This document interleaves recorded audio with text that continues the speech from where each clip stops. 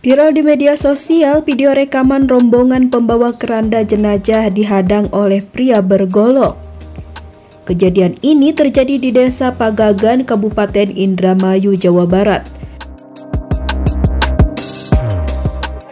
Dalam unggahan video yang diposting oleh akun @rijal_habibi_binka di media sosial TikTok, terlihat sejumlah pria menggotong keranda jenazah menuju ke pemakaman namun tiba-tiba ada seorang pria berpeci membawa golok menghadang rombongan itu di tengah perjalanan.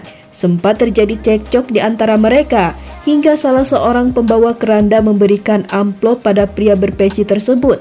Sambil mengambil selembar sarung yang ada di atas keranda, pria bergolok itu pun kemudian mengizinkan pembawa keranda untuk meneruskan perjalanan mereka mengantarkan jenazah ke pemakaman.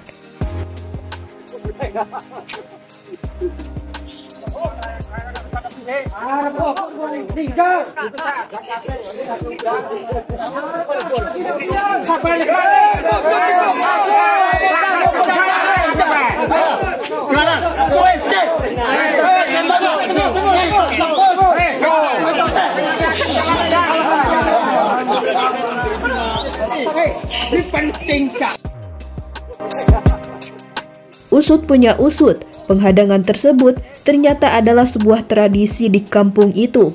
Tradisi itu biasa dilakukan ketika ada warga yang meninggal pada hari Sabtu.